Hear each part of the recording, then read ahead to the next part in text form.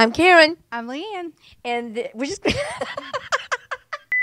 I'm Karen, I'm Leanne. and we're just here to show you a really cool beach towel. But you know what? You're holding it up because it's to your chin. That's above my face. It's a cute beach towel, Leanne. It's really big and it's cool. I love it. Everybody loves them. And you could probably get one of these if you sign up to be in our rental program.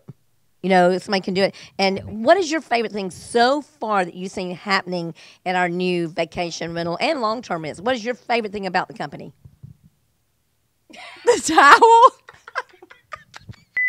Hey, Leanne, what is your favorite thing about our about our rental company? What what's the thing that you've noticed about our rental company? 'Cause we're kind of new for the vacation rentals. We're not new for long term. We've had that for a while. But what's the thing that you like?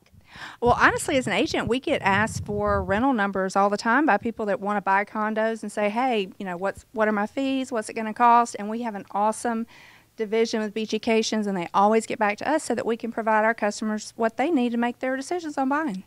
And a lot of people do want to do that. They they want to rent something out. They want to know what am I going to make, you know, what I'm going to end up with, and stuff like that. And believe it or not, y'all, there are still things out there on the market that you can buy, make a little money. Have somebody else pay for your unit while it's getting appreciation.